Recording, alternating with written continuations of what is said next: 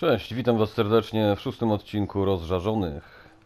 Dzisiaj pokażę Wam kolejne dwa znaki do przywołania NPC-ów. E, Pierwszy jest e, tutaj już przy ognisku. Chodzi o NPC-ów, e, których możecie przywołać do walki z Abyss Watchersami, e, stróżami otchłani chyba w polskiej wersji językowej, o ile dobrze pamiętam, oni się nazywają.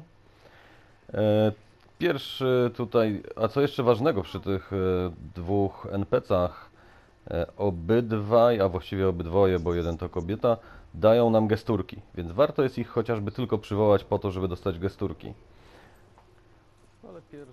E, W dzisiejszym odcinku jeszcze będzie trochę dobrego ganku oraz e, jeszcze dodatkowo gesturki, jakie można zdobyć od e, Katriny, od cebulowego rycerza. Jak się okazuje, nie wszyscy o tym wiedzą, a można za jednym przysiadem zdobyć u niego aż dwie gesturki. Gesturkę z toastem oraz gesturkę sen. Ci, co nie wiedzą jak ją zdobyć, będą mogli zobaczyć to w dzisiejszym odcinku. Specjalnie też na prośbę e, kolegi z grupy nagrałem, jak dostać się do jednego z kowenantów, do którego schodzimy w wiosce nieumarłych, zamykając się do klatki. Także zapraszam wszystkich, którzy są ciekawi tego materiału.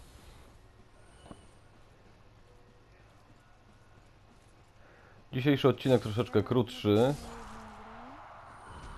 e, ponieważ ostatni zatrzymał się w takim miejscu, że już do Abyss Watchersów nie było zbyt wiele do pokazania, a kolejne odcinki w katakumbach i w mroźnym mieście chcę po prostu pokazać e, jako dwa w całości, dosyć długie, ale za to z niesamowitą treścią. Tu mamy tego drugiego gościa do przywołania. Ja go nawet przywołam tutaj na te ganki.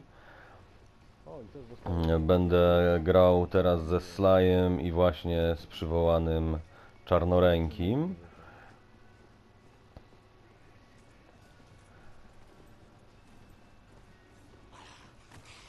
Na tych e, mobach, które teraz zabijamy, można farmić również e, mieczotrawę, która jest potrzebna do kowenantu e, ogarów Farona, ale niestety nie dropi ona zbyt często, a w ogóle, żeby chyba mieć szansę na jej wydropienie, to trzeba biegać e, w, w, z hełmem ze skrzynki oraz z pierścieniem na lepsze dropienie sprzętu z mobków.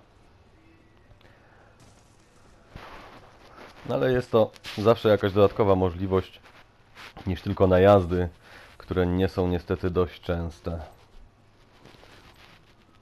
Pierwszy gang. No niestety gankerzy z nas z pierwszej wody, ale co tam, nie pierniczymy się. E, większość najeźdźców widząc trójkę lub dwójkę od razu ucieka, więc dzisiejsze ganki Wszystkie będą polegały trochę na bieganiu za NPC-ami. Przepraszam, za graczami.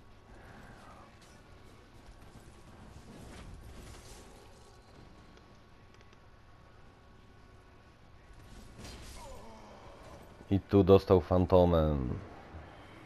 W sumie sam się zdziwiłem, że tak daleko sięgnął ten cios. Kolejny najazd. Znaczy nie na tego. Chociaż mógł się poczuć najechany.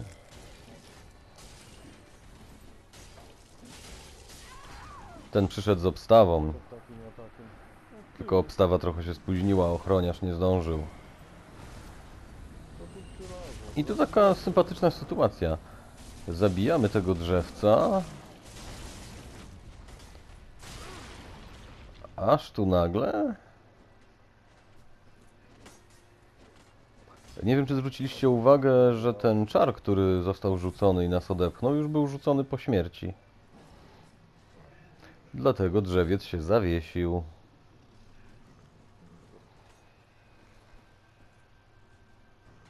No ładnie, umarł na stojąco, nie? Można mu się przynajmniej z bliska przyjrzeć. No się nie kapnął jeszcze. O, jest, wreszcie. Ale zlagowało. Powiem wam, kolega tutaj walczy halabardą Gundyra. Kurde, naprawdę niesamowita broń. Duża siła, duży damage. Do tego wielki zasięg. Jezu, jak to sięga pięknie. Aż sam mam ochotę przerobić swojego builda właśnie na tą halabardę. O, to był właśnie Weapon Arts, ten to potrafi polecieć. A jeszcze można go przedłużyć wciskając e, R2 na padzie. To wtedy jest jeszcze kilka kroków dłuższy. Naprawdę ciężko się przed tym odrolkować, zwłaszcza, że jak rolkujecie w bok, to potrafi nawet skręcić i śledzić cel. Jest takie mocne. No poza tym wszystkie ciosy z wyskoku, takie fajne, okrężne, to było właśnie zwykłe R2 e, bez Weapon Artsa. O, proszę, jak one fajnie sięgają. Aż, aż miło patrzeć po prostu, jak ta, jak ta halabarda zachowuje się w akcji. Do tego ma naprawdę przyzwoity damage, przyzwoite obrażenia. Myślę, że te szybkie, krótkie mieczyki to raczej nie powinny z nią iść na wymianę. To był backstab. E, Tak w tej części najczęściej wyglądają backstaby. Żeby wskoczyć kolesiowi na backstaba, to naprawdę trzeba zrobić to perfekcyjnie, a jeszcze mieć chyba odrobinę farta, bo większość kończy się tak, że gościu po prostu odchodzi, nawet nie odrolkowuje, odchodzi sobie.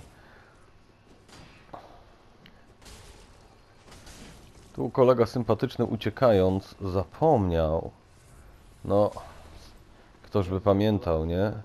Zapomniał, że już wcześniej spotkał się z naszym przyjacielem, rycerzem. No i nie ma zmiłuj, niestety rycerz tutaj rozstrzygnął sprawę za nas. Żeby więcej tego nie robił. to go ubiliśmy. Nie lubię jak e, gracze biją moich NPC-ów, z którymi miałem zamiar iść na bossa. Ale jak widzicie, na tej dróżce do Abyss Watchersów całkiem sporo się dzieje. Nie narzekaliśmy na brak najazdów.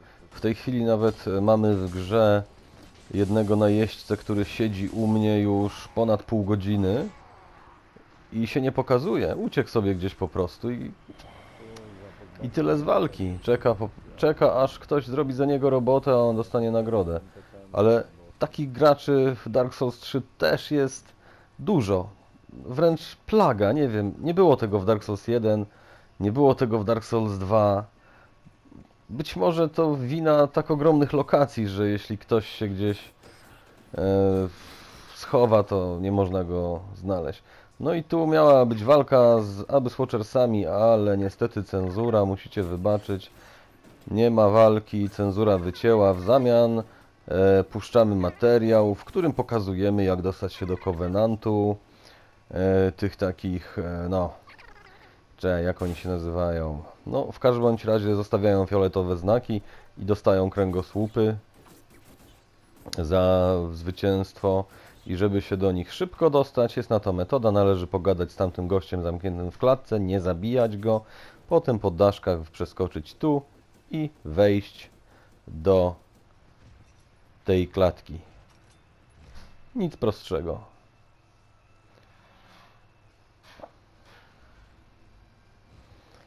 Mm, Haha, jeszcze raz można wejść do klatki, super. No i taka ładna animacja nas czeka, jak wejdziemy sobie do tej klatki. Wszystko gra. Będę mógł to nagrać.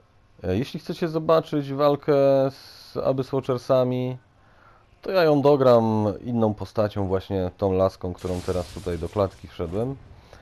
E, I umieszczę ją jeszcze w późniejszym jakimś materiale lub na osobnym filmiku po prostu samą walkę i dam link pod tym filmem. No niestety tak się jakoś wydarzyło, że ta walka mi się nie nagrała. Czasami no po prostu ten przycisk share na padzie jakoś, nie wiem, czasami mi się dwukrotnie kliknie i zamiast nagrać materiał, to on się wtedy kasuje, bo nie wiem czy wiecie, że jeśli klikniecie share e, i w tym momencie otwiera Wam się te menu, to już musicie nagrać, cokolwiek byście nie zrobili. Jeśli wciśniecie drugi raz share, to wznawia się nagrywanie od tego momentu i wszystko co było wcześniej zostaje utracone. I tak mi się niestety parę razy zrobiło, przez to zdarzają się takie dziury w materiale. Na szczęście od następnego odcinka od Katakumb takich dziur nie ma póki co. Wszystko jest nagrane pięknie i tylko Wam to zademonstrować. Jeszcze właśnie obiecane gesturki od Katriny. Cebulowego rycerza. Wystarczy z nim pogadać po walce z demonem, dostajemy flaszkę, za chwilę dostajemy gesturkę Toast, po czym on mówi nam, że idzie się przespać. Jeśli zagadamy z nim kolejny raz, w fazie, gdy on właśnie mówi, że śp- poszedł spać, to dostaniemy gesturkę sen. Dowiedziałem się o tym dosłownie wczoraj. Dlatego postanowiłem szybciutko nagrać, skoro byłem w okolicy. Nawet nie musimy tej gesturki używać, żeby dostać sen. On już w tej chwili śpi, wystarczy po prostu z nim pogadać. Zdrowie wasze, w gardło nasze. No i po walce z Abyss Watchersami trafiamy do ogniska przed katakumbami. Katakumby e, będę przechodził razem z Foreścikiem.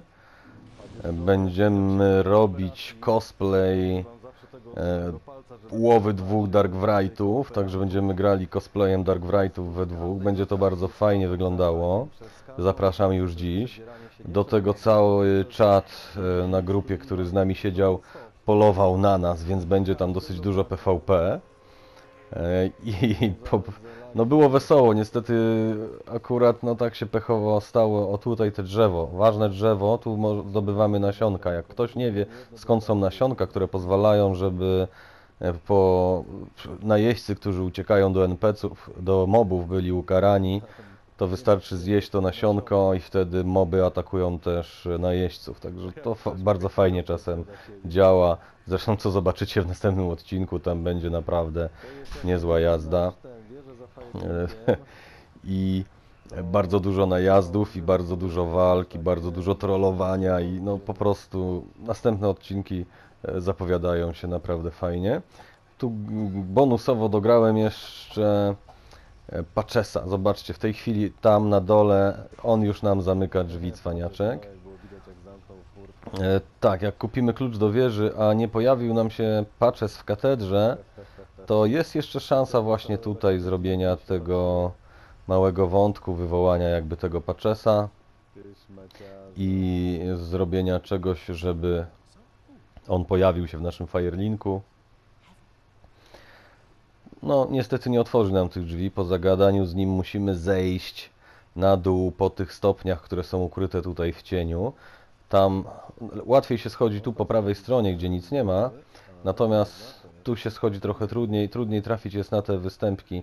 To się robi e, fachowo właśnie rolką i proszę bardzo, e, trzeba to zrobić troszeczkę bardziej precyzyjnie. No ale nie martwcie się, niezależnie czy zginiecie czy nie, to Patches jest tam za tymi oknami, za zakrętem.